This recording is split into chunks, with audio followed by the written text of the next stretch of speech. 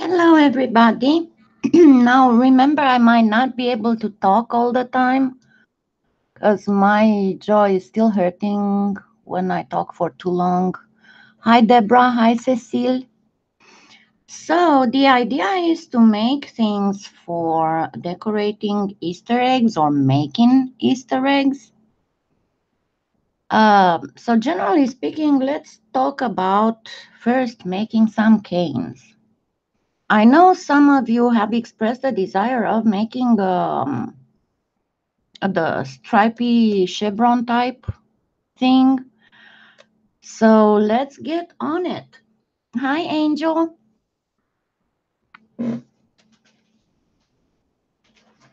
One of the one of the combinations I really, really love. Whisper move. I'm sorry.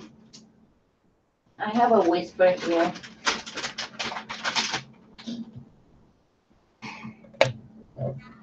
Move. Goodness.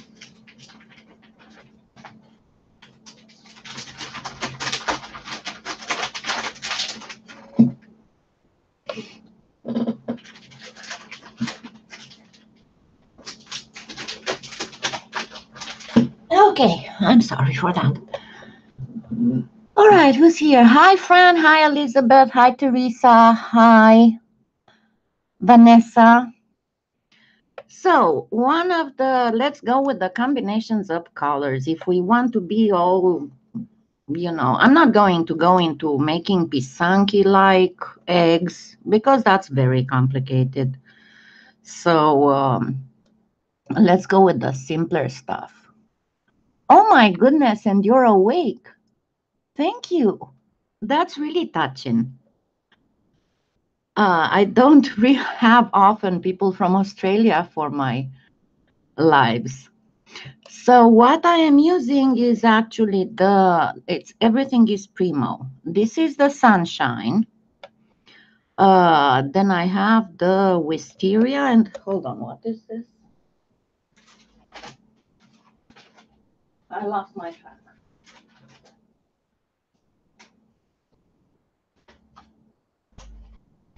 Okay, this is actually souffle so 80s.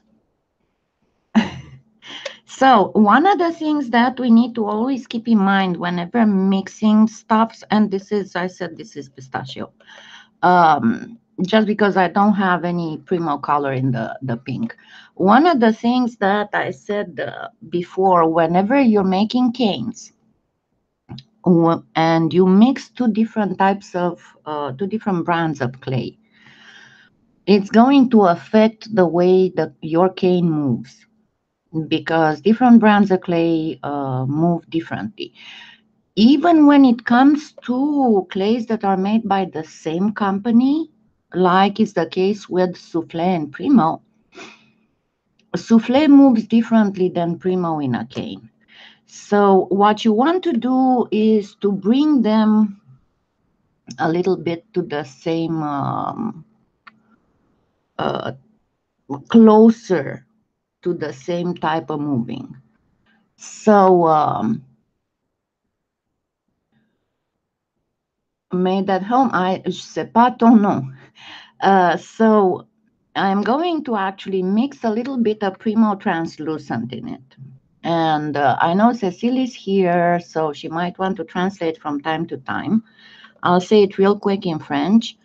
Donc, on va, on va pas faire des, des œufs de Pâques compliqués avec toutes les, les choses de, de l'Europe de, de l'Est, mais on va faire des, des œufs de Pâques euh, en thème de, de, Pâques qui sont euh, avec des couleurs joyeuses. Et j'ai ici du, du Primo, mais celui-ci, c'est du soufflé. Et ce que j'ai dit before, c'est que lorsqu'on fait une canne, on doit toujours utiliser euh, le même euh, type de pâte polymère parce que sinon, ils vont euh, mouvoir dans la canne euh, différemment. Donc ici, parce que j'ai du soufflé et j'ai du primo, je vais mixer un peu de primo translucide dans le soufflé tout le, pour, le, prendre au même, au même mouvement. So, Bonjour. Bonjour. Hi, Lawrence. So let me grab a pinch of translucent.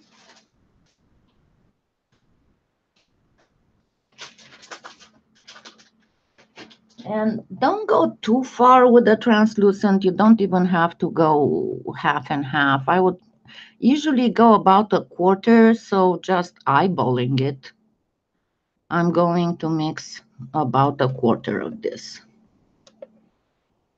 Right? So it's gonna be noisy for a little bit, but this thing goes fast.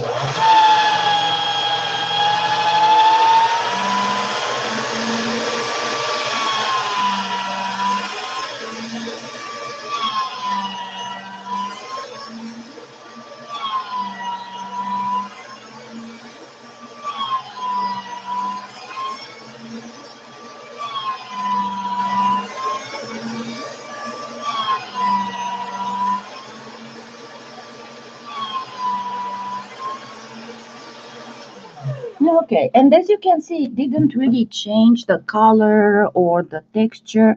Hi, Carol. So you managed to... Oh, I'm sorry. I'm sorry you didn't. Hi, Colleen. So you want to do first the striped cane so we can see how we can mix that with other stuff. Let's see, how would it work the best? We can do, for example, these two and these two, or this and this, or this and this. But let's do actually a mix. And I'll show you how you can enhance the, the look of a stripe cane.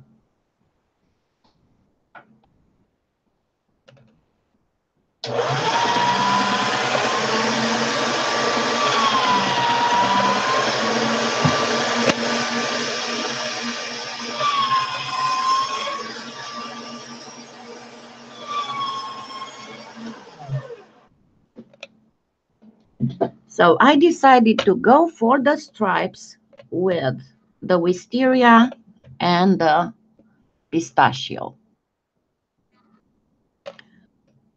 And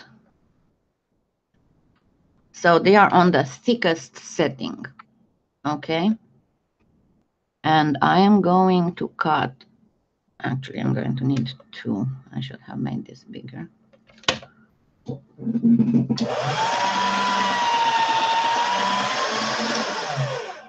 I will be using the wisteria as the base.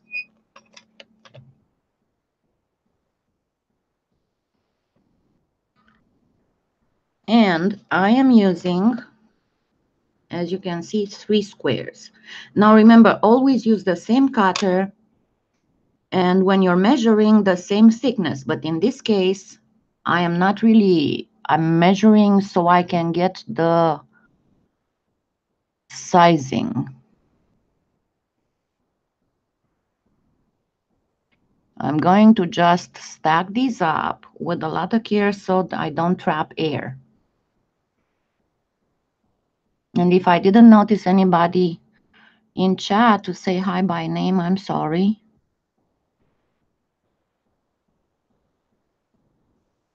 Okay, so I have a stack of three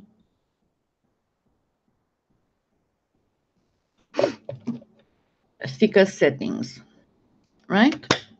And I'm going to actually cut one more time to make sure that my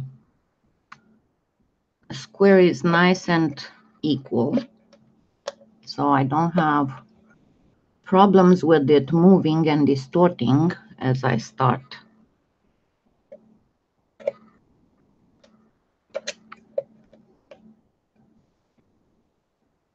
Now, we shall make the stripe with the pistachio, but with a twist.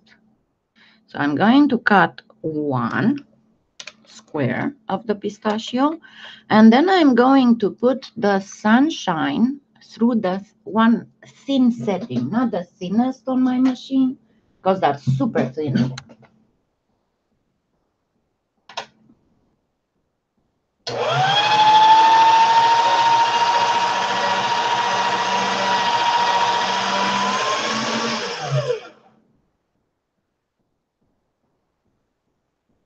So the Atlas has like 10 settings and I used the seven.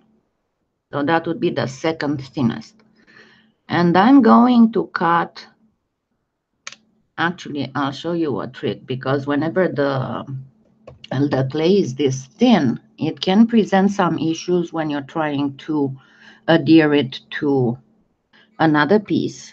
So what I'm going to do is actually, let me try and get this closer so you can see better what I'm doing. So see, I'm placing this at an angle like this. And I'm going to gently start bringing it down. And this way I know that I don't have air bubbles. Then I'll use the cutter again. And I know it's going to have a little bit of stuff here, but that's fine. I mean, even if you are going to end with a little bit of scrap, that's fine.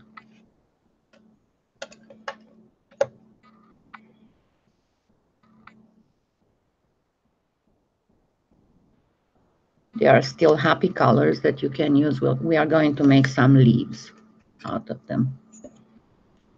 Also to decorate eggs. And then I will be doing the same thing on the other side. So again, I have this. I'm going this time to bend it the other way. Get it close and then start gently burnishing with my finger. And at this point, I can just lift this other one. Again, use my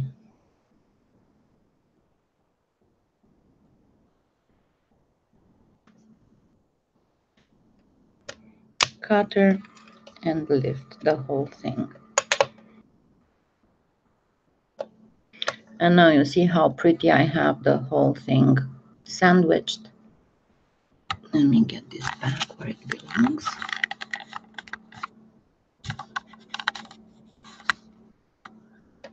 And now we can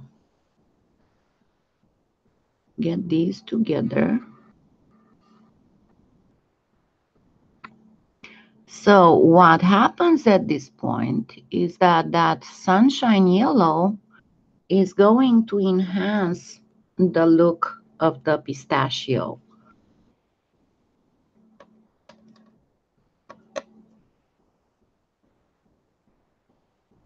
Yeah, because you know, it took me a while to come up with this, Carol, because um, for a long time I just kept getting all these air bubbles and I just had to pop them out every time.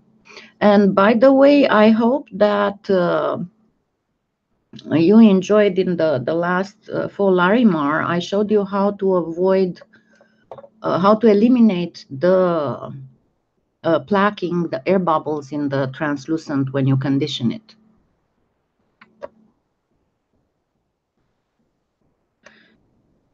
Donc, le, le sunshine va euh, mettre euh, en valeur le pistachio. So even if it's this thin, it's going to still bring it a lot forward. And now we want to do a really, really good job at cutting it in two. So I'm going to notch it here.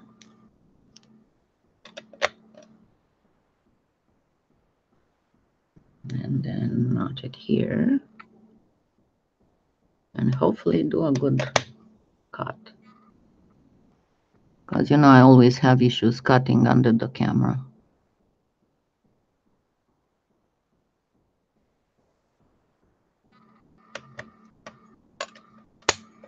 And now all we can do is to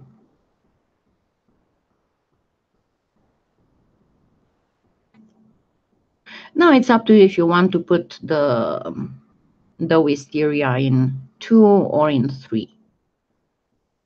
It's entirely up to you. Yeah, if you go on my website, uh, I posted on the Pardo, and actually should be featured on the first page. There are two ways to handle handle that with Pardo. The first way works only with Pardo, doesn't work with Primo, but the second way, the one that I showed in the faux Larimar, works with Primo as well. Okay, now we start gently reducing it. Because we need the we need to stack it again. So we need to reduce these and make it longer.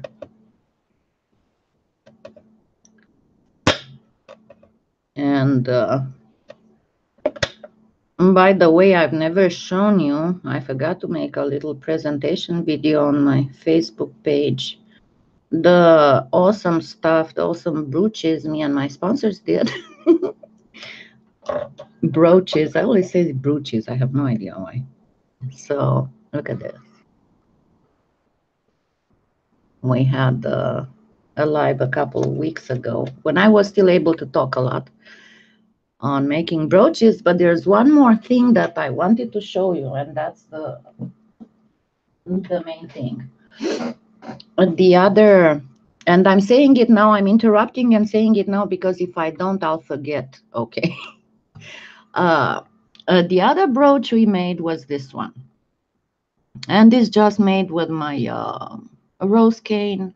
That's not even my rose cane i mean it's been for so long around around the internet i have no idea who came up with it uh, but anyway so initially when um, i made this brooch I used my uh, blend of uh, of clay that I use for doing uh, German silver, so I don't have to antique, and then I use some of the German silver um, gilder's paste. But then one of the cosmic shimmers uh, that I had pre-ordered from Polyclay Play came and I used it and I wanted to show it to you because I will be doing a, a piece with a review soon. I'm just waiting for the silver to come to with my next order. But this is it. It's a metallic gilding polish. And uh, it's called Cosmic Shimmer. But what I love the best about it, number one, look at the metal look on this thing. Going to try to see. Look at the metal look on this thing. It's absolutely fantabulous. Here I put a little bit too much. I was still trying to figure out how to use it. Okay. But the neatest part about it, so and I saw a video done by Polymer Clay TV on how to use it with silk screens. And I'm going to get some silk screens of Mike Braille's that Trish has now and do a, a demo with them. And they did a demo with using this on silk screens, but I used it as a polish. And the thing is that, okay, you open it normally, like when you can open it, uh, uh, Okay, that's my hands. That's not the jar. So you open it like any other thing. But the deal is that it's got an absolutely fantabulous applicator. See, and you can open it, then dab this in and then close it without the fear that your stuff will dry out while you're working with it. The deal is that you have first to moisten the, the sponge and put a little bit of uh, liquid soap and then dab it. But it makes things so easy to use and it goes just perfectly over all the raised areas and comes up with this awesome thing. So um, as soon as I get the silver one, I will make a review and tutorial on it because this is what I wanted to tell you about and I didn't want to forget. Okay, so let's get back, get back on reducing this. And there's a few other things that I have in my uh, on my list here, and as I started to catch up with everything else on the website, I I'll be able to start working on them. Because there's a few uh, demos on how to use certain products and a review, for example, on uh, obtaining the perfect silver metal finish. I managed to gather a lot of silver stuff. So it will be on the silver. And hopefully in time I'll get more stuff on other metals as well. But I had promised you to make you several uh, tutorials on how to obtain different metals looks with more or less expensive stuff. Now, remember what I've been showing you in my cane uh, basic 101 thing to reduce. The best thing is to press it a little bit against your working table.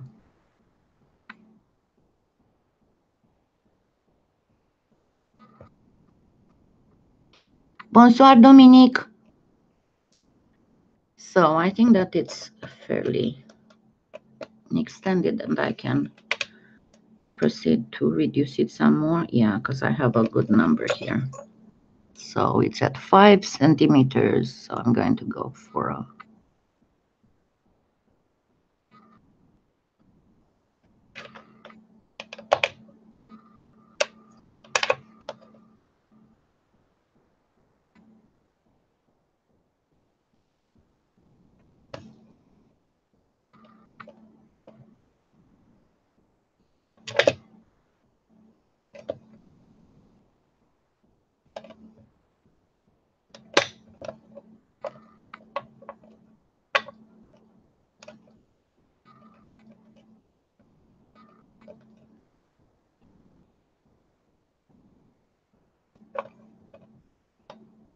Yeah, I love metal finishes too. Okay. Okay. Sorry, I was looking for my little acrylic block. I'm telling you, this little acrylic block is my workhorse, the same as that blue paintbrush, blue handle paintbrush. Okay, so we want to go mostly this way, but but the idea is to get it squarish like this. And then we are going to try and do a chevron stripe.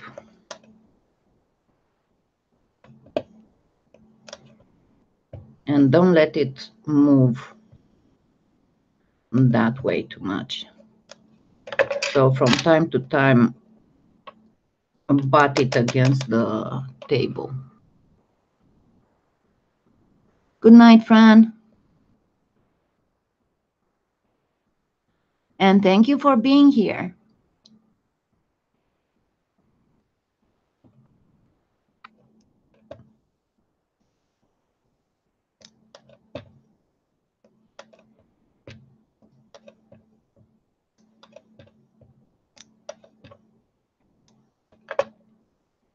Okay, at this point, it's almost there. So at this point, honestly, I think I'm going to make it a little bit flatter because it's a little bit too small to show you entirely what I want to show you. And because there's a way of uh, getting the diagonally striped stuff that's practically shown in all the our forefathers fathers polymer clay books and it's not hard at all to to achieve. Now remember, if you do this in Primo or in Kato, it will be much. Uh, hi, Judy. Uh, it will be much easier to. Hi, Anna.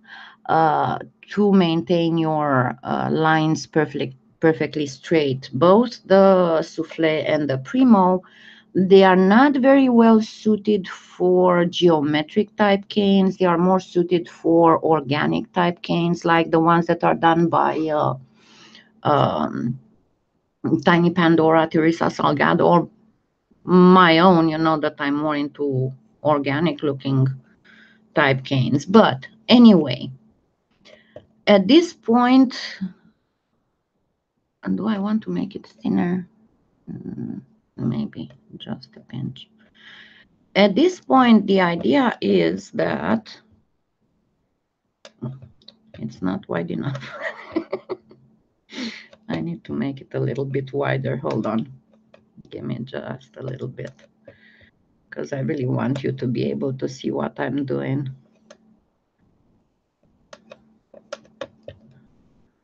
I'm going to extend it a bit. There's not a lot of room to do the diagonally thing. Uh, but yeah, and talking about making um, Easter egg uh, baking um, forms. Who does she live? Oh, thank you. Where I live in Oklahoma. Um, in order to make a very good uh, baking form for a uh, an Eastern egg, if you don't want to go through all the bother of, you know, there's Unruly Housewife showed very nicely and very hilariously at one point how you can use an actual egg, a raw egg, to cover it in polymer clay for Easter and all that. And the idea is that you poke holes at both ends and then you kind of poke to to break the the yolk, I think. And then you blow on one end to clean the whole um, egg of the content and then, of course, you wash it, you disinfect it, and you let it dry, and you can use it as a base to, to put polymer clay on it and then bake it and all that. Now, if you don't want to go through all that trouble, what you can do is, and it's a lengthy process, that's why I didn't make it, uh, I, I, I was thinking of uh showing you how but then i was like it's it takes too long. It's impossible to show that in a live video. Maybe i'll make a separate tutorial at one point. But the idea is you can make it with papier mache but the problem is that you uh, don't use the regular uh, papier mache paste because the regular papier mache paste has glue in it. So once you bake it it's going to get uh, tough and it's impossible for it to dissolve in water anymore. The best thing is to get some cheapo toilet paper and then just let it a little bit in water to almost dissolve, then squeeze the water out of it. And use some of those um, uh, plastic eggs, you know, after it's well, well squeezed, uh, to mold it and then let it dry. And once you have it molded and dried, cover it with aluminum foil. And then when you cover it with the polymer clay, make sure you leave at least one little hole. Once you're done baking, if you watched my uh, pods, organic pods tutorial, I show exactly how to do this kind of stuff once it's baked, all you have to do is to kind of uh, poke the hole through the aluminum foil and then put the whole concoction in water and leave it for an hour or two and you can go from time to time with the crochet or a knitting needle of sorts to break up the toilet paper that's going to start dissolving in water and then you only need to be a little bit patient because uh, once it starts dissolving, you can take it out completely. And uh, then you can pull out with the crochet the pieces of uh, aluminum foil as well. And then you'll have a hollow polymer clay egg. Or if you want, you can just keep it on the uh, homemade papier mache and aluminum foil and you don't have to hollow it out uh, it's good to be hollow when you want to make the um, lace type covering you know, the one where you use just strings and flowers and you leave a lot of um, empty spots between them, that's a good way to uh, get a baking form for it. Okay, I think that this should be much better. And all I have to do is to lengthen it up a little bit.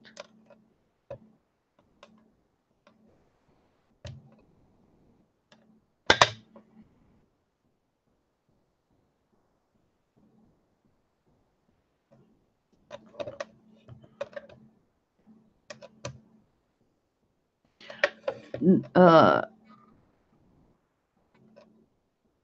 donc, I'm, I'm going to say it real quick in French. Euh, donc, si vous voulez euh, faire une base pour euh, cuire des, œufs de Pâques couverts en pâte polymère, vous pouvez le faire avec du, papier toilette que vous mettez dans l'eau et ensuite vous faites une forme d'œuf. Vous pouvez utiliser ces œufs, en plastique pour faire une, meilleure forme et ensuite vous la couvrez avec euh, de, la feuille aluminium. Et quand vous couvrez l'œuf, si vous voulez euh, le faire creux, alors vous, vous laissez un petit trou et après que vous le, vous le cuissez, vous le mettez dans l'eau, le papier toilette va dissoudre et vous allez euh, être capable de, euh, de le faire sortir avec une petite euh, aiguille ou quelque chose. Et ensuite aussi, vous pouvez faire le, le papier aluminium on dehors, mais ça seulement si vous voulez faire des œufs en dentelle. Sinon, vous pouvez laisser la base dedans. You need to tell us exactly what kind, Teresa. Bonsoir, Karine.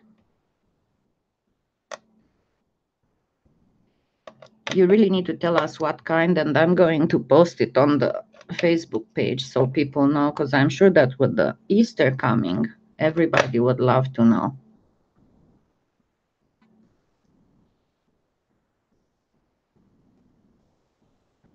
And look at me, I've been fiddling with this for half an hour now.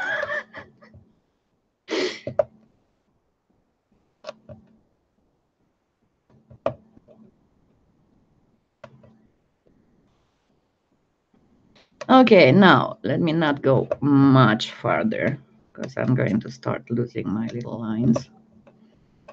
But the whole idea is that what you do, see how you have this.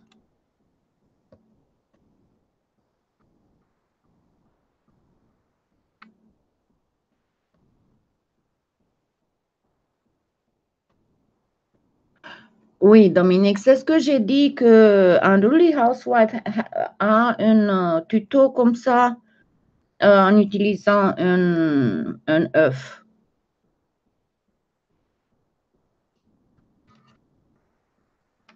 Non, ça n'abîme pas la polymère, Cécile.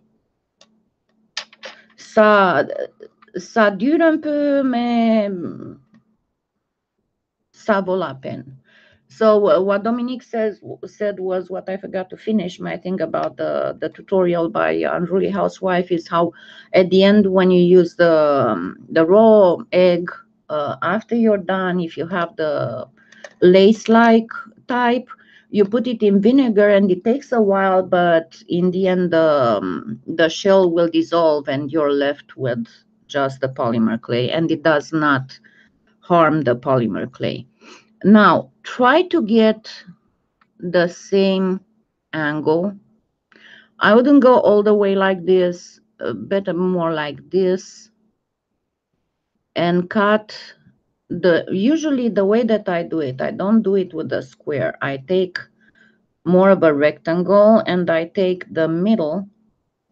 I calculate the middle and this and the opposite edge. And then I go down once. Then see I have the middle here and this other edge but you already have one line so you can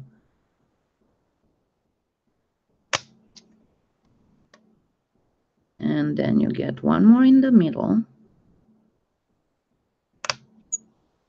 And now you can go on the sides as well and you know what follows next right?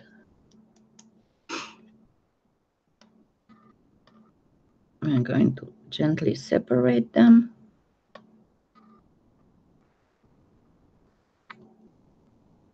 So I don't distort them much.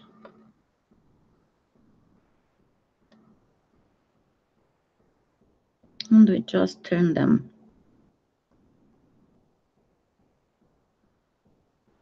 so you saw what I did? So it was like this and all you have to do is to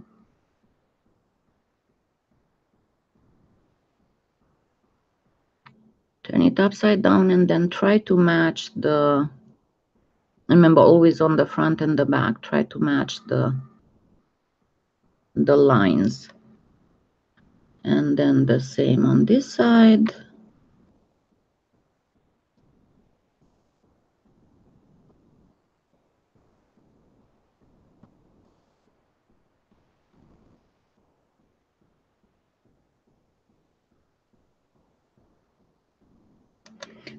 Now, if you notice, I did put this here, but I'm not going to leave it here.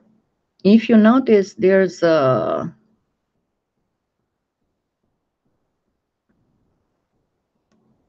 you pretty much have, see, this can come up here.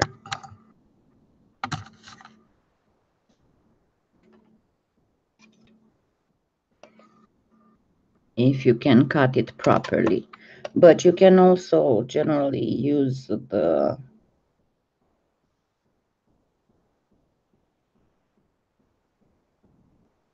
these other ends if they match. You can cut a little bit more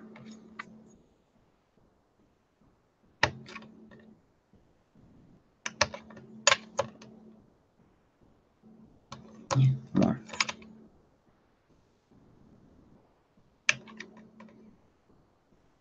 these were the end caps and canes pretty much but at this point you will have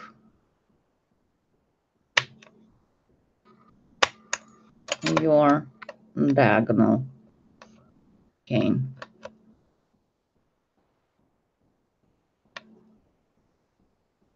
And see how the,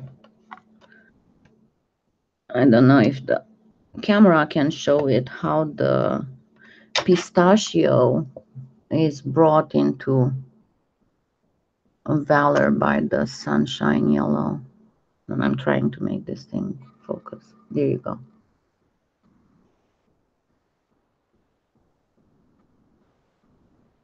See, it's practically not really noticeable with the naked eye, and I didn't match them perfectly here. But once you, if you don't put this, it will not look pop out so much. Now, don't worry, we are going to use these for something. And as I said, let's first make ourselves a little egg base so we can make a little egg right because that's why so this is just plain paper napkin.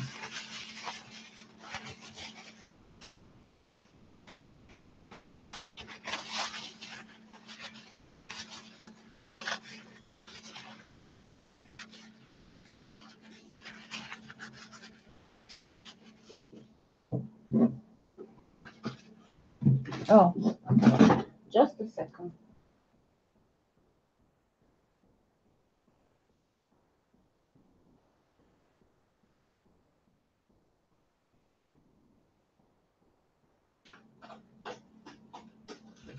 Sorry, I thought I brought the aluminum foil and it was just another roll of wax paper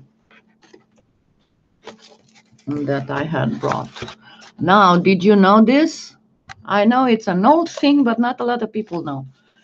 On this, if you press here, if you can press there, I see how it's got two little flaps.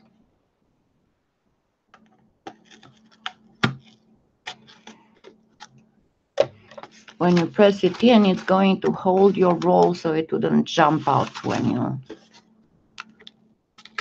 mm, grab your stuff. And you want generally for these kind of things, you always want the poor quality aluminum foil, the one that's exceptionally thin. You don't want the good quality thick one. I get these ones from the Dollar Tree or from Winco because they are very cheap, but if it's too thick, it's not going to bend properly, you know. That's why you don't want good quality aluminum foil. And then you just wrap your little ball of toilet paper. Sorry for the noise. Oh, toilet paper. Oh. Paper towel. And you might need several layers. And it depends on how big you want your little egg to be. But first you make your shape.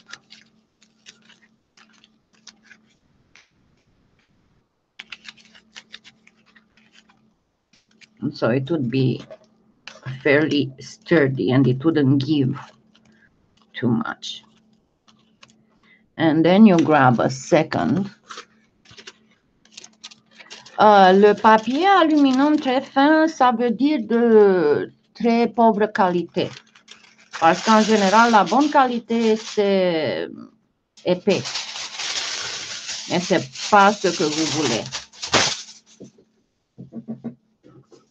Okay, now on the second, as I'm going to actually wrap it, I'm going to be a little bit more careful on how I wrap it.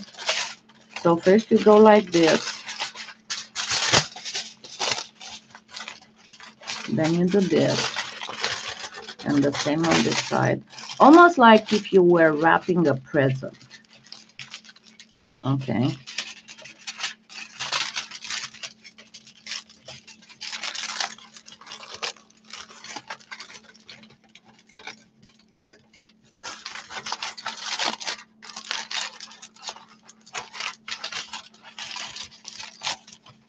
And remember, you don't have to use all of it. Use exactly how much you need. But in this case, I'm good with pretty much all of it. Round up the any corners you might have. And if you have better hands than mine, than mine, it's easier.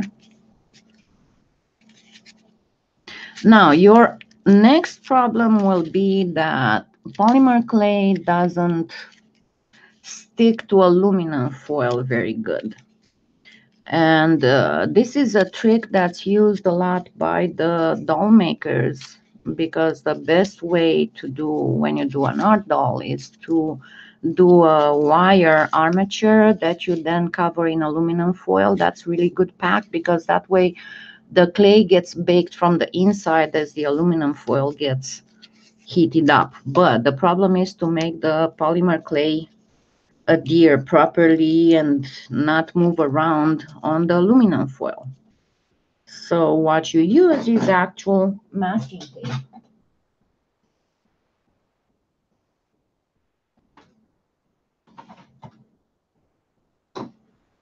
If you can find it. Because I just worked with it. It's somewhere here.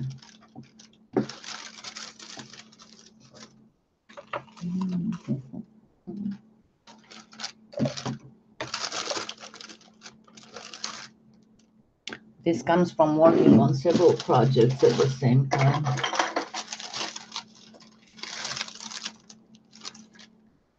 Oh God, I hate it when it happens.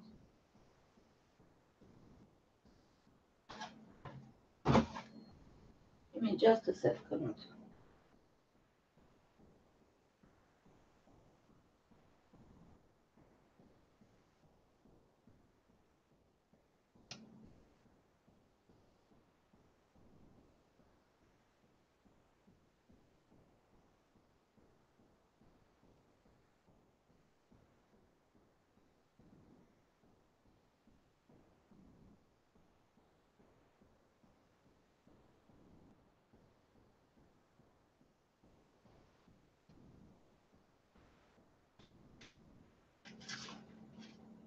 All right, that's great. I misplaced my masking tape.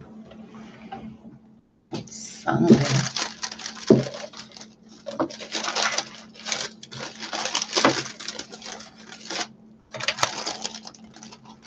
And no, you cannot use any other kind of tape, only uh, painter's tape, masking tape, the one that's uh, paper.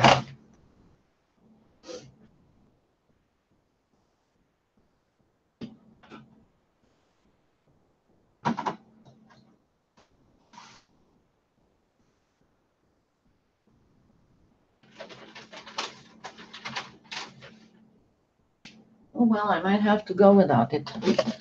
Oh, well. So, as I said, I cannot find it, but just wrap the whole thing in masking paper.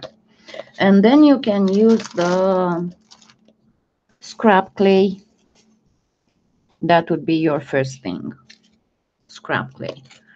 First, use a thin layer so you can pretty much even out the bad spot spots.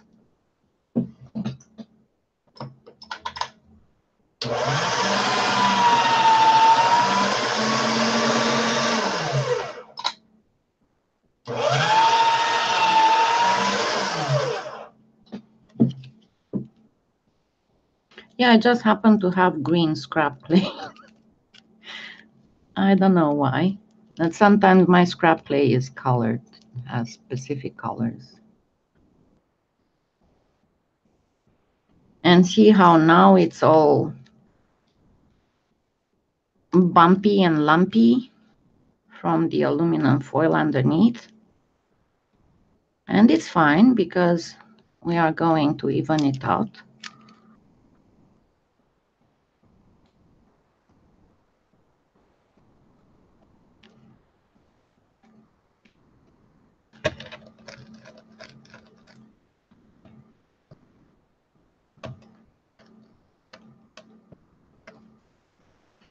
If you need a little bit more, then by all means, grab a little bit more scrap clay. No, it's not from malachite. I think it was from the shamrock.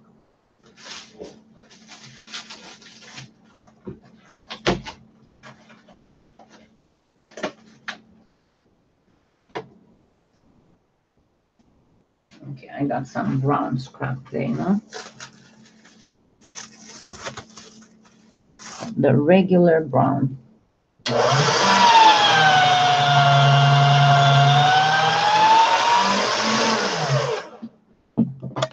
And I'm going to just place it, not all of it, but see where I have some dips and folds. And it doesn't take too long to, to make a pretty even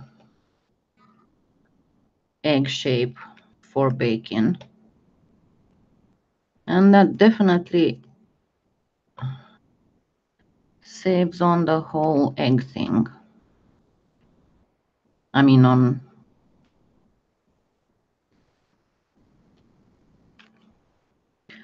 emptying an egg and all that.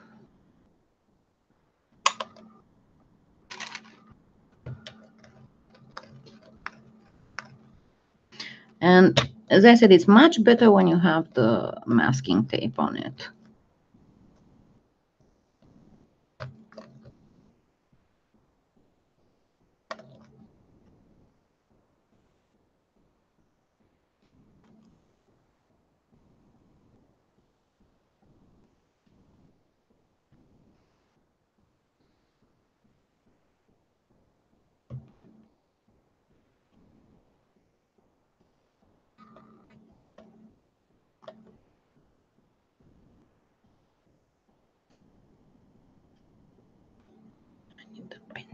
Here.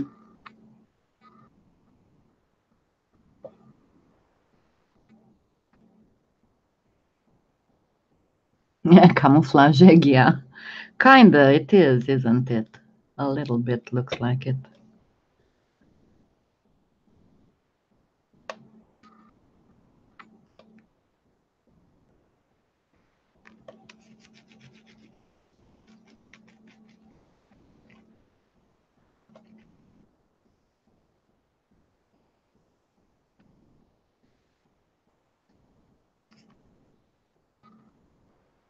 See how it comes off in spots. I think I'm gonna wrap it in a little bit more.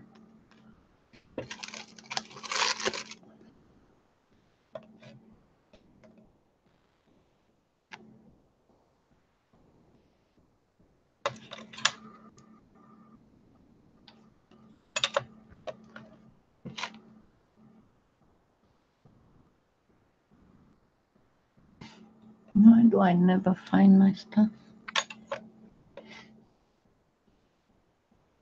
Okay, and what I'm going to do is to cut triangles out of this.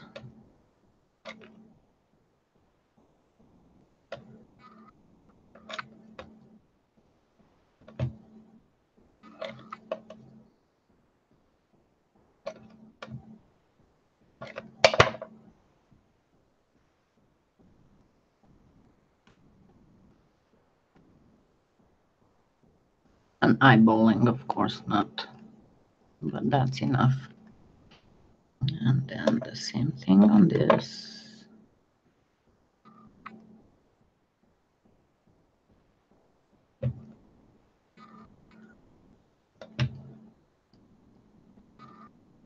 This is called not seeing your scissors trick. That's why I've been trying to bring everything back from the kitchen here because I had a lot of stuff in the kitchen and then a lot of stuff here, which works fine when I have to do pieces for myself. But whenever I do tutorials or lives, that doesn't work anymore.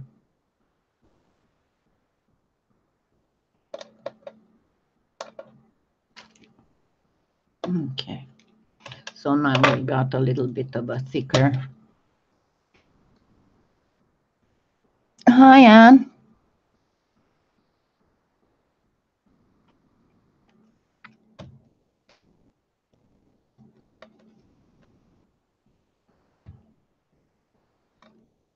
Okay, ideally you want to bake this before you start um, covering it up.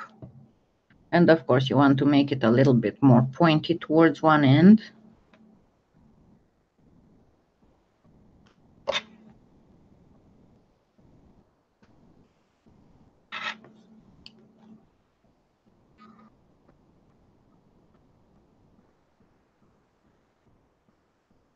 As I said, it's much easier to do if you have those little plastic eggs and you can shape your paper in them and let them dry overnight or once they got shaped, just put them in the oven for a little bit so they can harden up.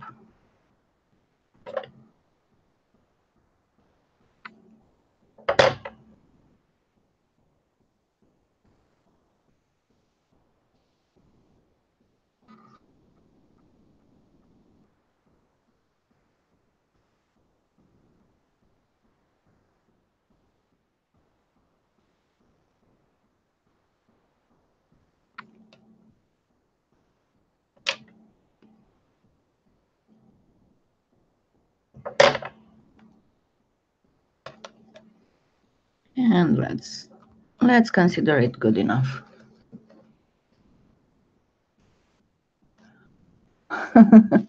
Amber. Hi, Amber.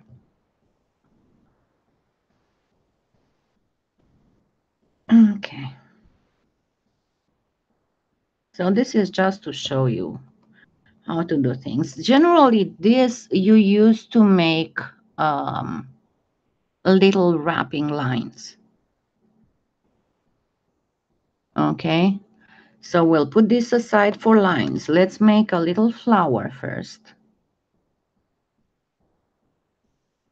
So I'm going to grab this. These are, remember, these are the leftovers from cutting up the squares of those. And it's okay if they have a few threads of pistachio through them. I'm going to make a, a little snake.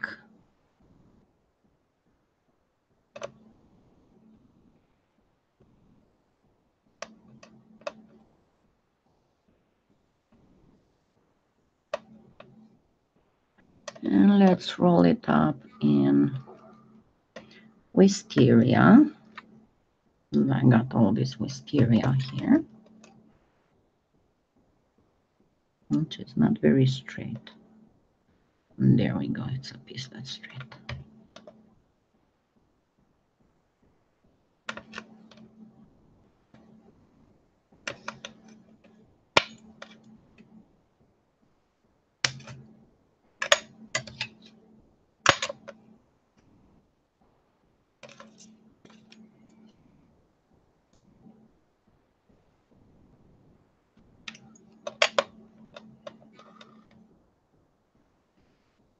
And once we wrap it, let's pinch it on one end of the log. And gently reduce it a bit.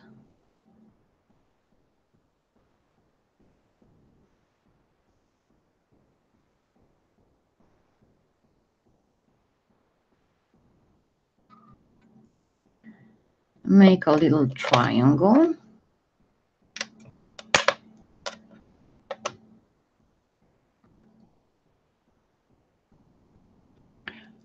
Okay, Dominique.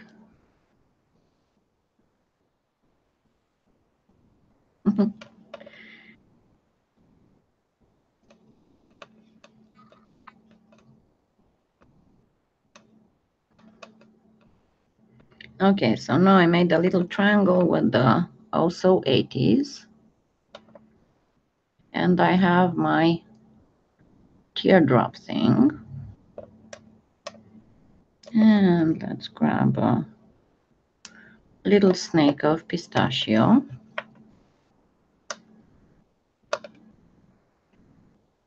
Because a lot of, when I asked uh, yesterday, was it yesterday or the day before, what can we do on the live so I don't have to talk all the time. And everybody was like elements of canes that can be put together in different ways. So I'm going to do this in three first. And see how the, I hope my camera can show. Remember, I did not mix. I've just let those little strips being there. See how the whole petal has little dots of that pistachio.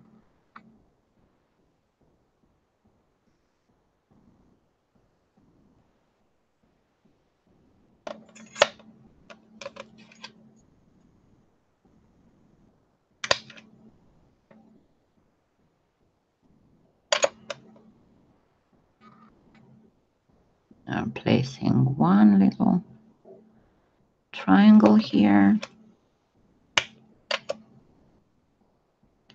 And one little triangle here.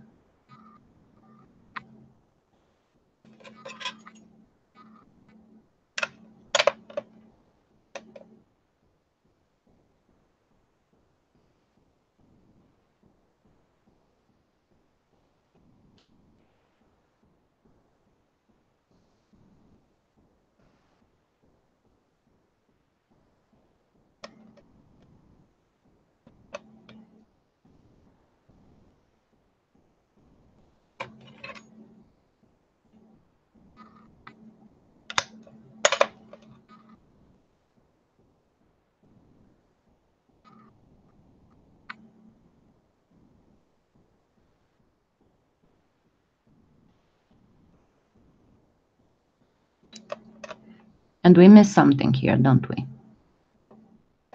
What we miss is another little triangle on each side.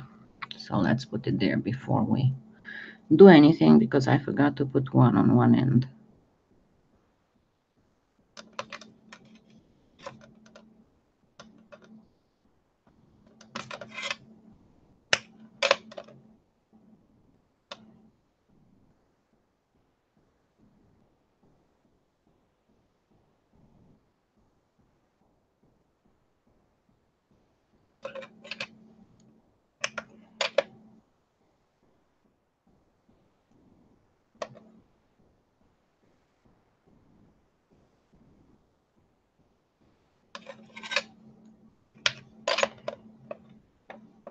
And there we go. We got a little flower.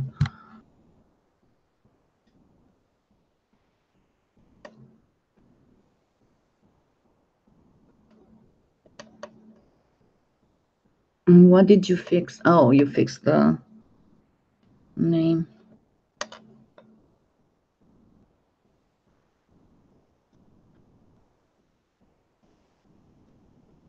Well, yeah, I think that they are very good colors for uh, Easter.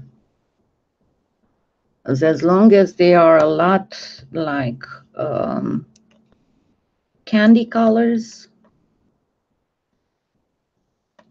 they are very good for Easter stuff.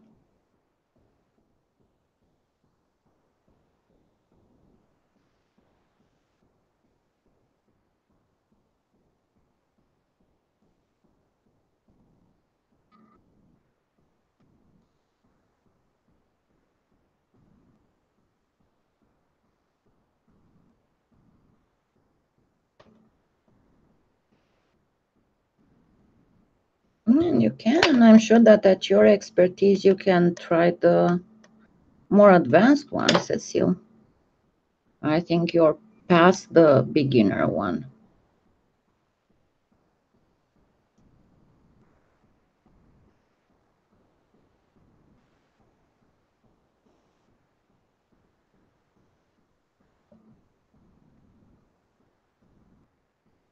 But yeah, Amber, that's called using the other channel. Because once you have you have one username with Google, but then you can create I don't know if it's as many channels as you want, but you can create several channels and then you can log in with whichever of the channels you want.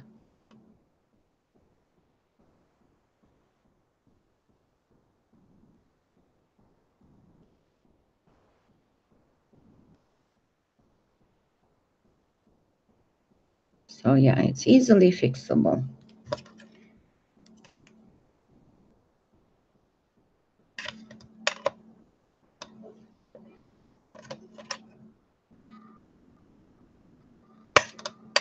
Okay, so we have a little flower cane now. You want to try a little bunny cane?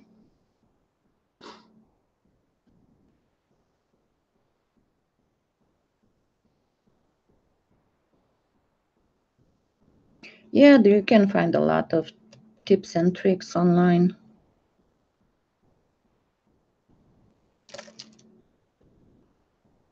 I think that Mowclay has a really cool bunny cane thing.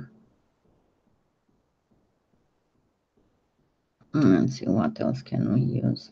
Let's just use a plain um, teardroppy thing. I'll show you in a minute. So first we, we make a log. We'll use the white. This is another egg specific thing. Then let's make another log using the yellow.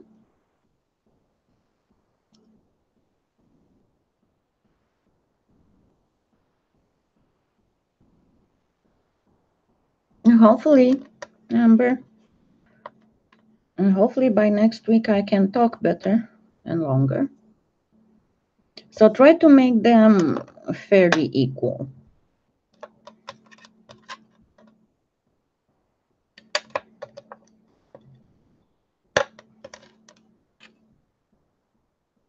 I'm trying not to get too distracted because you know how, how I can go from one subject to the other so easily. Okay, so we have one white and one yellow log. Okay. Now let's take one so 80s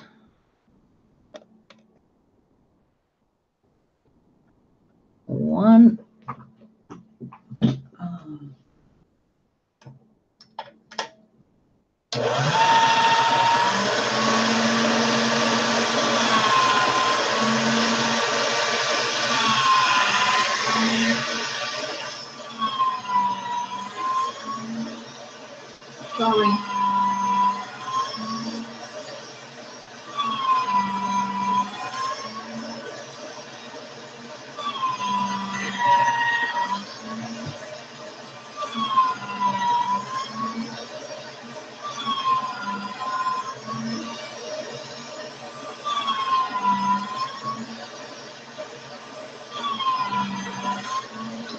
just that I needed this to be about the same uh, size. So I'm going to get one of each of these. I'm going first to cut this pretty much. It needs to be this length.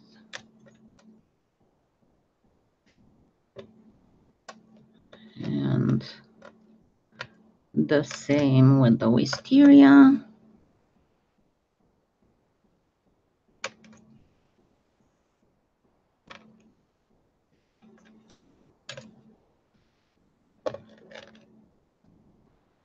Now the pistachio, I'm going to actually thin it out just a bit.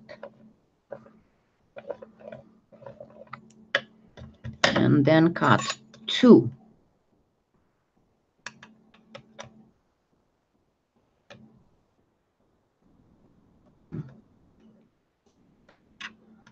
Oh, sorry.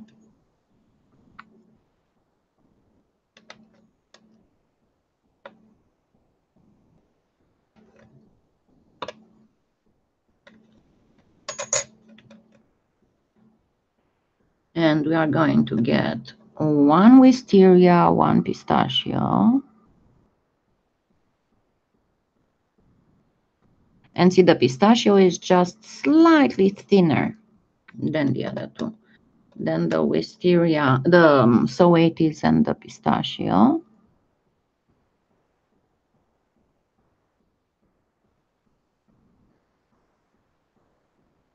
And then at the end of this, I will show you something really neat. By what I can see and how soft it is, I would think Premo or Cernit.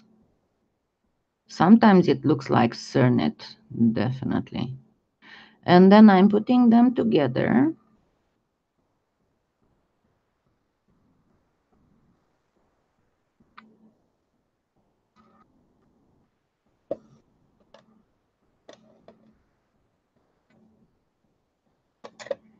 Now I have this and I have this, right?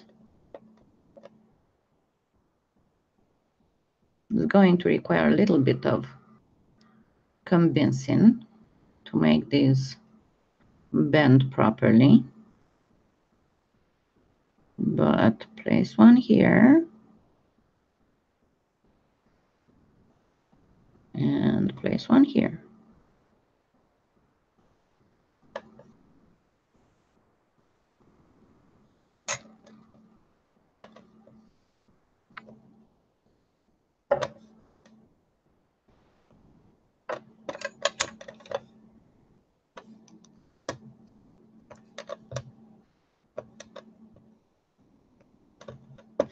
Very, very easy line to make.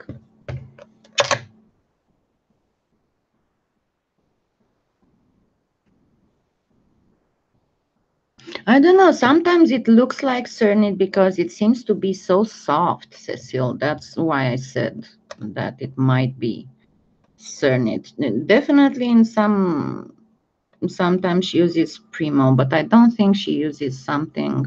It might be Fimo Soft. Who knows? Do they still make Fimo Soft? And it doesn't look like a firm clay, by no means.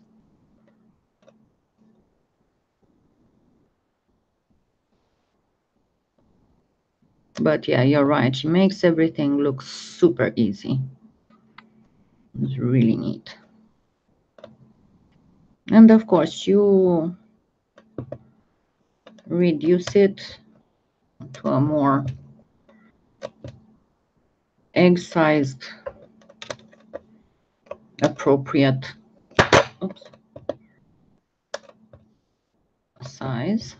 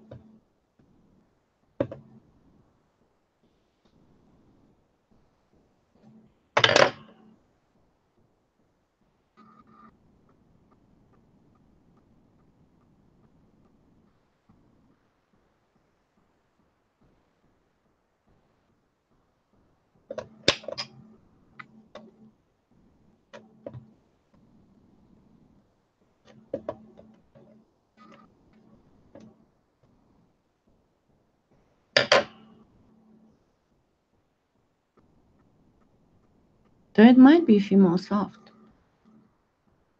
Okay, now we have a line like this. That is very Eastern egg, East, Easter eggish.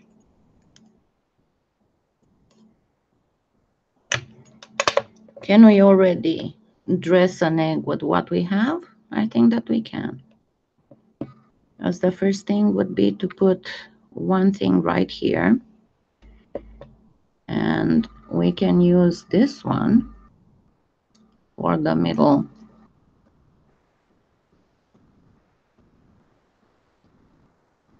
Stripe.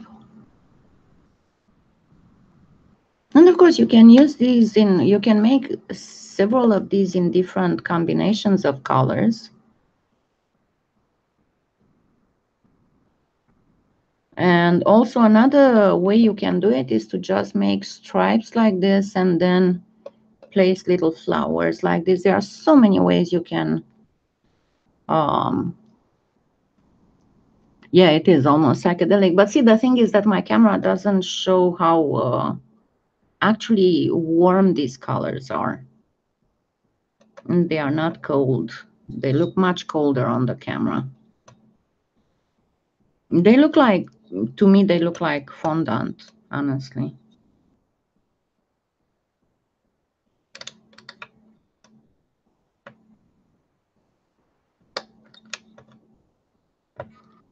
So we have some of this.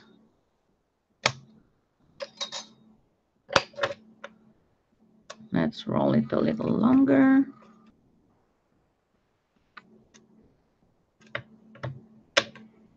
because we are not aiming for something looking super geometrical and super perfect.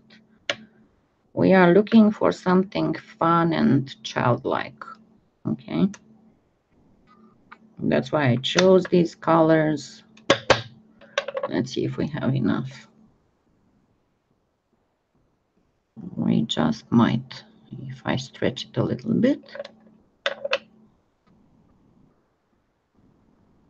Oops, if I stretch it to the point that I can pull it apart.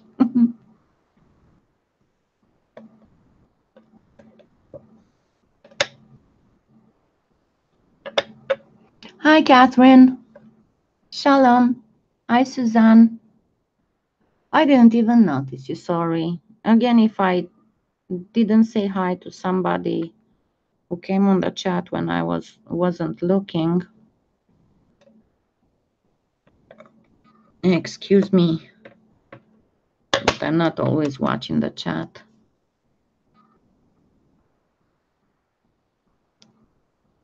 Okay, so I guess it came up pretty good, pretty even.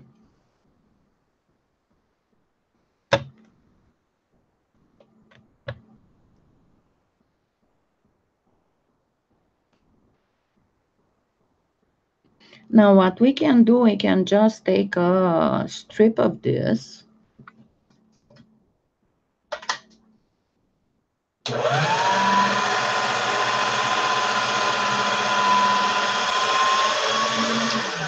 I know, I know, I'm not supposed to stretch like that. Mm-hmm.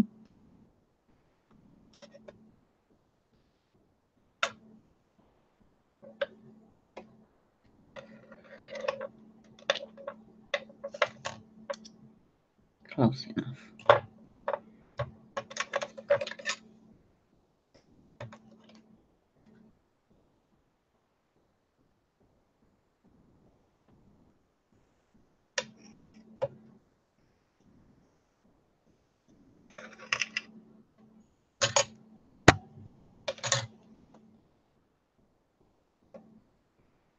And we are going to place this on top of the on top of this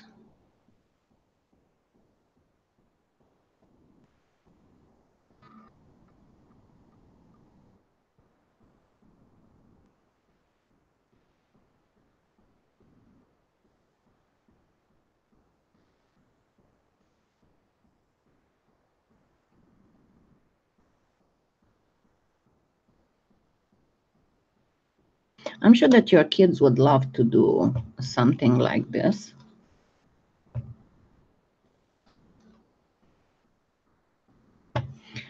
And again, it won't, this one won't look that good because it's not made perfectly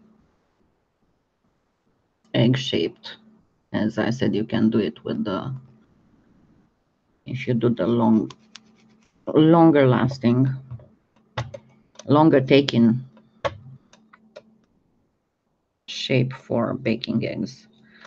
And now you can take a few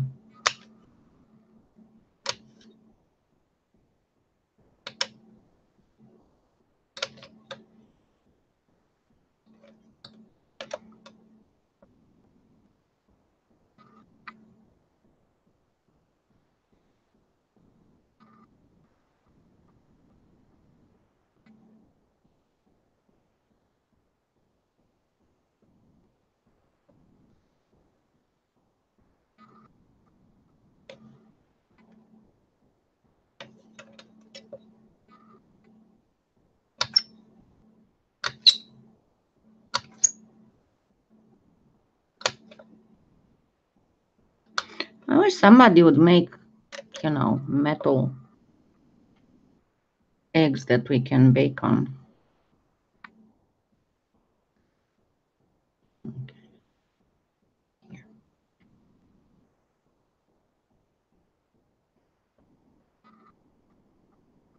Mm, I need one more.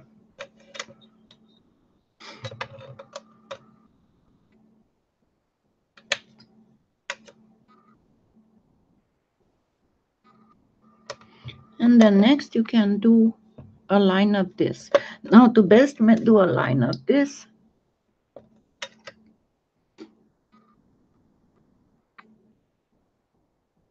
uh, what do you mean? A ruler? This is a ruler. This would be an X-Acto knife. These are blades this is uh, you can go on my website because i i started uh, writing a few articles on what i use. This is uh, um what you call it rigid blade. This is uh, an Amaco. And in the articles on my website i give links from wherever i buy this stuff then these are uh, some absolutely awesome flexible, semi-flexible blades that are the, the blades that cut the best the canes that I have found to date. And I found these on Amazon, but they were from a vendor from China. So they were taking like six weeks to get here. And then I told Trish from Polyclay Play about them, and she was able to bring them. So you can find them now in Polyclay Play store. And she has them long like this, and then she has some shorter ones. Just be very careful because uh, they come in um, these plastic boxes Hold on, I'll show you. So they come in plastic boxes like this, and they are super, super, super sharp. So whenever you open the box to take them out, be very careful not to cut yourself because as I said, they are exceptionally sharp. But because of that, and because they are so fine and so sharp, you can cut slices that are like, I don't know, one tenth of a millimeter that's why I said that they are the best. And, you know, I have issues with my hands when it comes to slices. But with these, I'll show you. So this is my old slice, slicer. It's not the new one. Hold on, if I can hold on to the... Okay. See, it's almost transparent. It's so thin. You can cut with it. Yeah, I know you got some. Yeah, they are absolutely fabulous. As I said, I have not found another blade that works so good on uh, cutting canes. And you know, I'm people who know me know me that if it's crap, I'll tell you it's crap. I have absolutely no issues with that. So let's cut, let's do the same thing as for the micro caning let's cut one inch, three one inch, one, one centimeter pieces from this so we can cut a better line.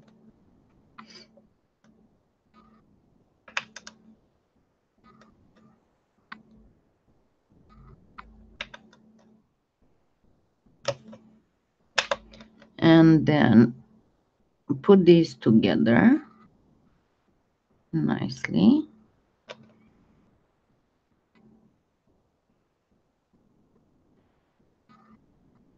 And once we got them together, then we can cut much better lines from them. So I'm going to use again the super slicer.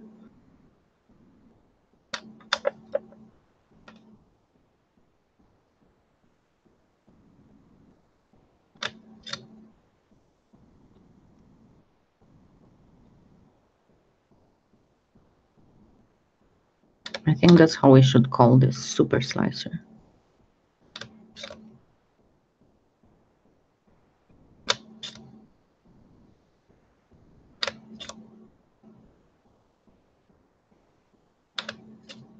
See how beautifully it has cut.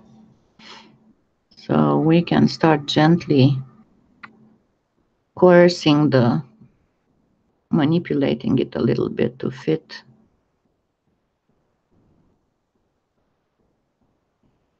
around.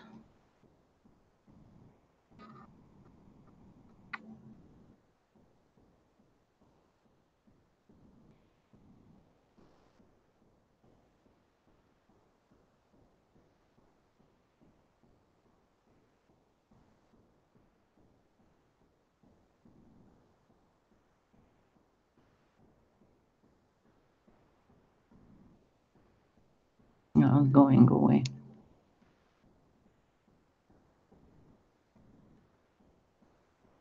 I know. Exactly. Those are exceptional. Yeah, Catherine, as I said, if you go on my website, I have a whole bunch of, uh, I didn't write everything yet, but I have a whole bunch of information on what I tried, what I used, what was good, what was not good.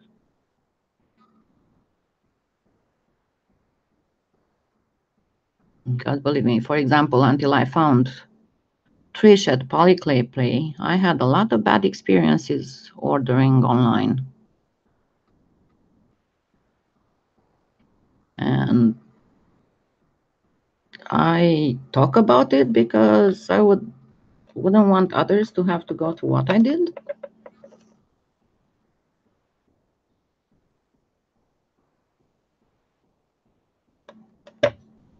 Because generally, when you spend over a hundred dollars on clay, you don't like to hear. Also, what if you're upset that we are not shipping it right away? We have other customers.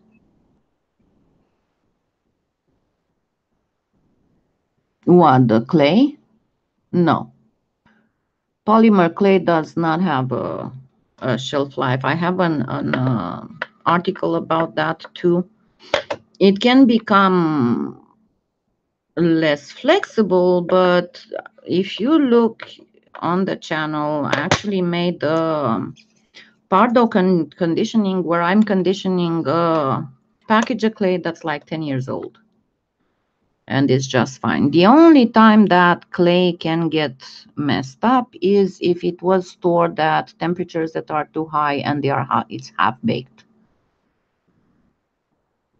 but to become it can be brought back to life just by conditioning. The best way to condition it is to if it's very very hard and if we are not talking pardo because pardo is a little bit different uh, if you're talking about any regular clay so you saw what i did here i just cut a slice of the flower and i uh, flattened it bigger. Um, what you do, you just get a grater. You'll need a grater and a um, food processor and some clay softener.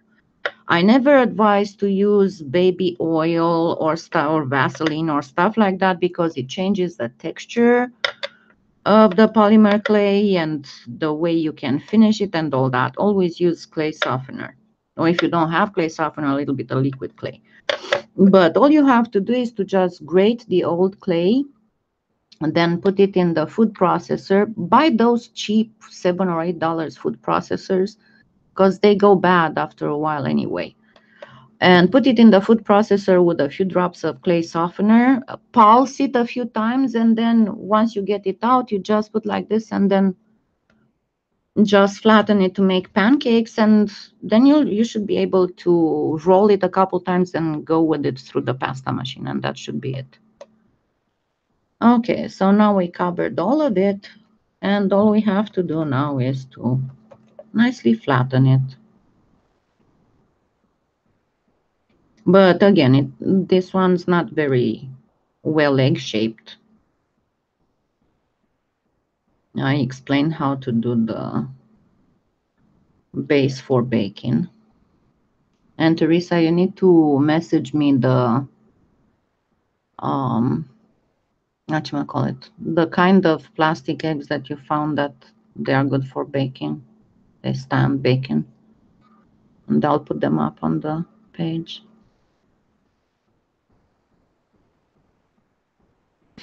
Okay, and I said that before this is over, because we are getting close to the point where I won't be able to talk anymore, I will show you something really neat. And that is how to make a quick and easy psychedelic if you want cane.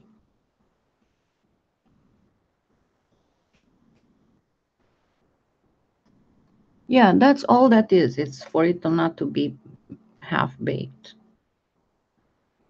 Otherwise, it lasts for decades. It can be brought to life. The only thing is that if it's fresher, it's easier to condition. That's the only, practically the only thing. But you know, when you talk easier to condition, a six years old packet of Premo is easier to condition than a fresh packet of Fimo Professional or Kato. So it's all relative to the brand, to the to a lot of stuff. Okay, so this would be an Easter egg. And very easy to make. Now, let me show you that thing that I said I was going to show you. Let me make just a couple of quick jelly rolls, Skinner blend jelly rolls. So I'm going to use this white with a pinch of wisteria.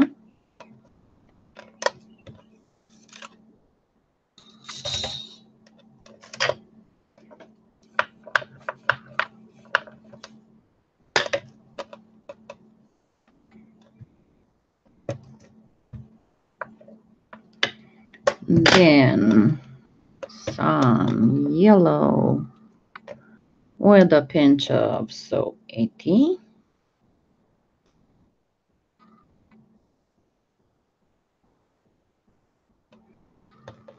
Some pistachio with a pinch of wisteria, which is going to look interesting.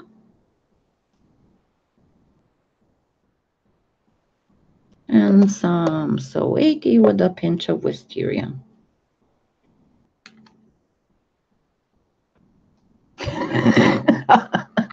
oh, come on.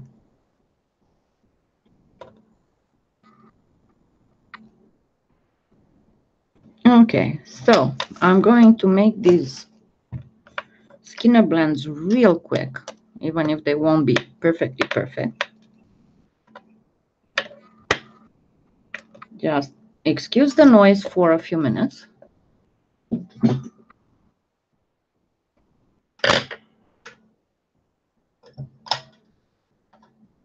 Thank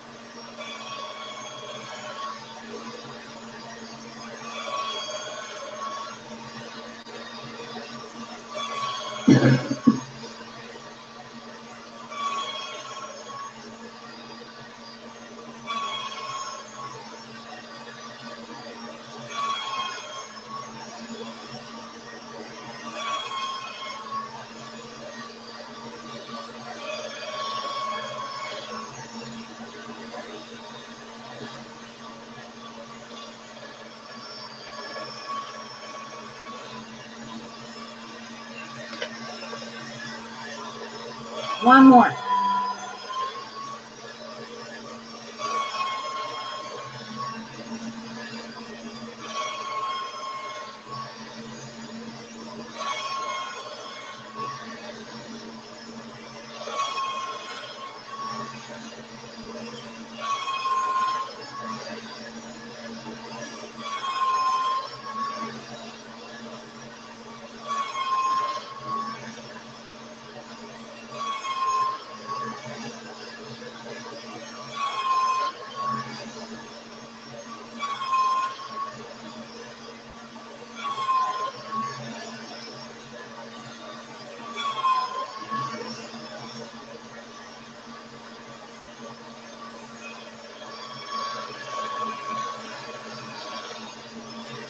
Okay, so this is how to make a very, very tropical kind of looking cane, if you want.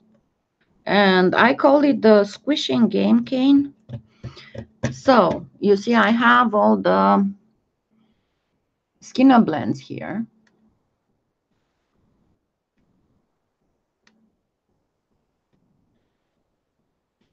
Yeah, that was crazy. the shipping is horrible at this point in time.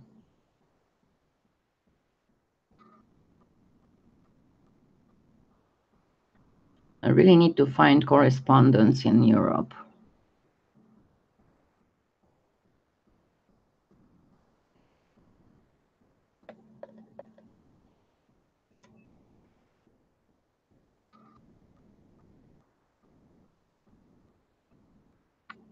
But see, it's the same for me. I have to, that's why I said I'll probably make Cecile my representative.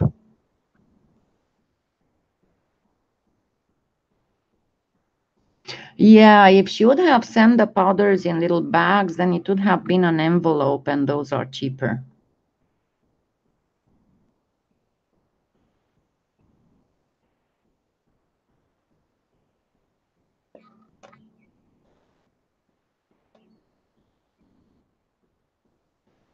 Okay, now if you notice, all my colors are very tropical forest looking like.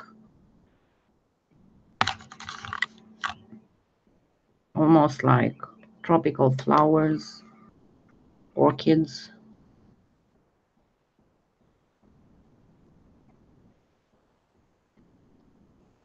And actually this one I'm going to get it one more time through the machine. I should have gone gotten it a little bit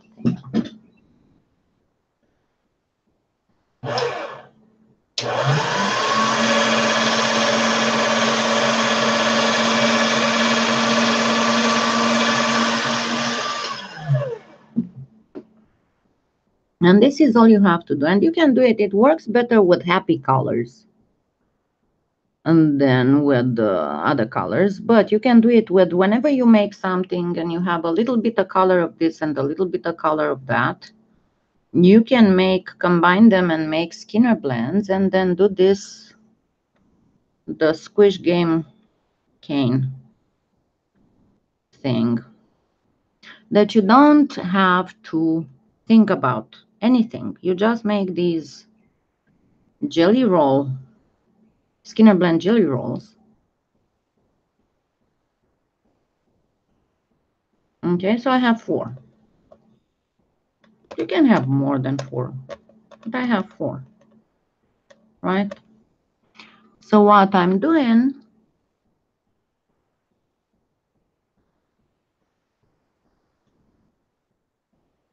going to squish them.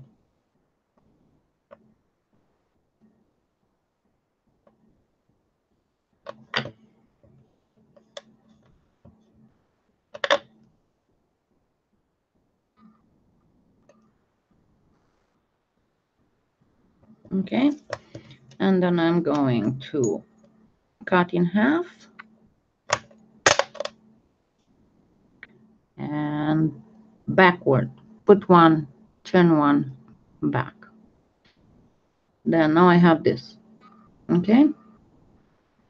And now I'm going to make a triangle. And the direction you make your triangle doesn't really matter at all you just triangularize your little squishy pile.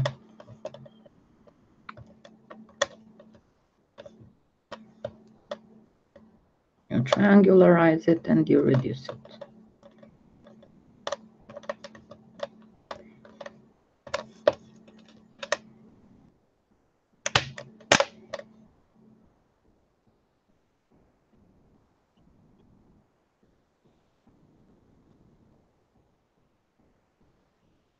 Thank you. But yeah, this is how you can make a just plain simple squish game cane. So now I'm going to reduce it so I can cut it in four. Or of course you can reduce it so you can cut it in six if you want. But remember, go against the working surface so you don't lose too much clay. And see how soft it gets. This is what Premo does for caning.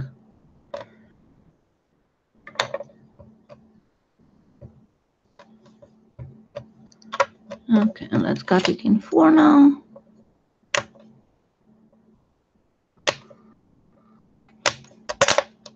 And it's a pretty tropical cane. That's why I said it looks prettier when you do it with happy colors than when you do it with other colors.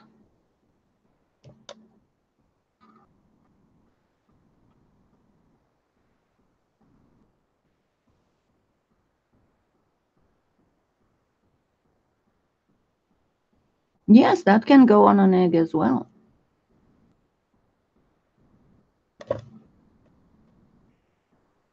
But this is a good way to use your scraps.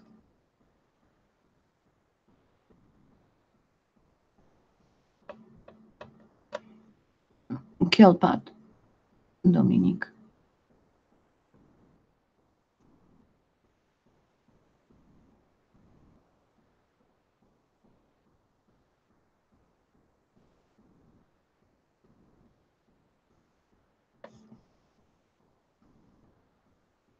And then, of course, you can remember I showed you how you can deform and reshape a cane and do all kinds of stuff. Let me cut this one so you can see the slice on it. But yeah, and looks almost like, it will always look like a, a little bit like a stained glass. But this is why I said you don't have to worry about planning anything. Just get whatever you have left over, do a few Skinner blend jelly rolls, then put them together, smush them, and then make a little triangle and start building your cane. And that's a smush game cane. so yeah, the colors are really happy. I wish I had some um, turquoise, but I'm completely out of turquoise. I did all those Larimar experiments. You can do, so okay, this is with the wisteria, and I don't have a pink for Premo either. But in the Premo, you go with the sunshine yellow wisteria, the pink, I forgot the color of the pink in Premo, I'd have to look.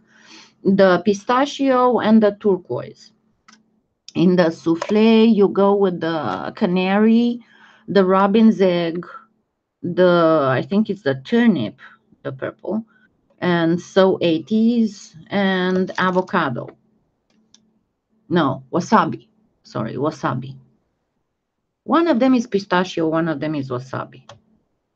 Anyway, but these are perfect colors to use for Easter. They are absolutely awesome to use for Easter.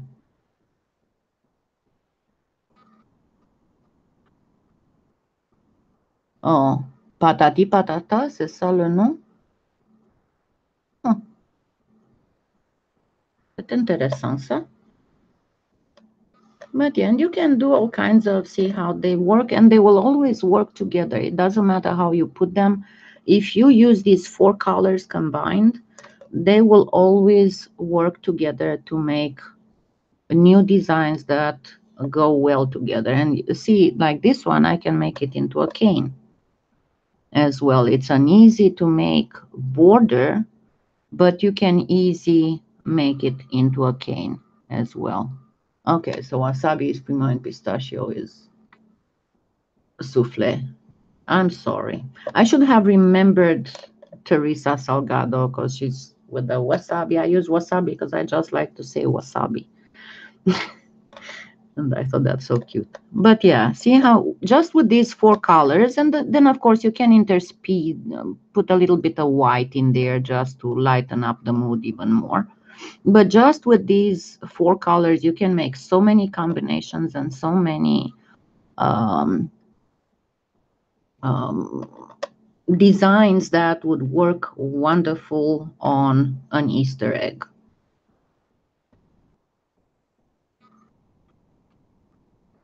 Okay. Okay. All righty. So at this point, I am a little bit uh, starting to get hurting So I've been up for like an hour and 45 minutes. So I think I'm going to say goodbye and wish you a great Sunday. And hopefully next Sunday I'll feel better. And I'm tomorrow, I'm supposed to go to the doctor. So they're going to do imaging to see what the heck is going on with my jaw. Hopefully I didn't break it because we don't know. I have a um, completely numb spot on my chin. That's the the main issue and the pain was horrendous. So, okay. Yes, I did. I did. Okay. Thank you so much for being here with me. And I hope you have fun making Easter stuff.